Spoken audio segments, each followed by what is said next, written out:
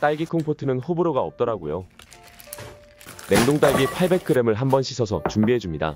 냄비에 딸기를 넣고 알룰로스나 설탕 200g을 함께 넣어주세요. 강불로 켜고 설탕이 녹기 시작하면 딸기를 으깨줍니다.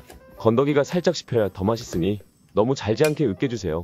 딸기가 끓기 시작하면 3분 정도 더 끓여주고 뜨거울 때 용기를 한번 내어주세요. 용기에 콩포트를 뜨거울 때 담아주면 밀폐가 더 잘 돼서 더 오래 보관이 가능합니다. 알룰로스는 생각보다 달지 않아서 많이 넣으면 더 맛있습니다. 딸기 우유나 에이드로 만들어도 좋고 냉동 딸기 몇 개와 콩포트를 함께 넣어 믹서에 갈아주면 딸기 쉐이크도 간단하게 만들 수 있습니다. 하는 말이랑 95% 정도